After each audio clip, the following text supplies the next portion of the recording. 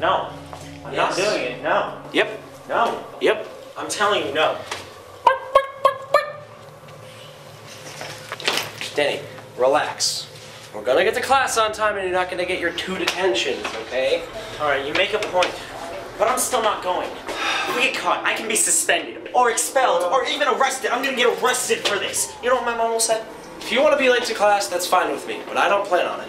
Austin, we can't go to the courtyard. Denny, we can do whatever we want.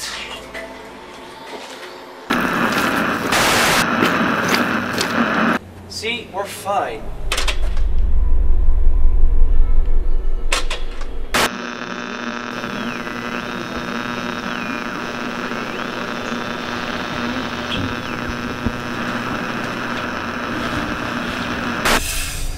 That door's locked. What?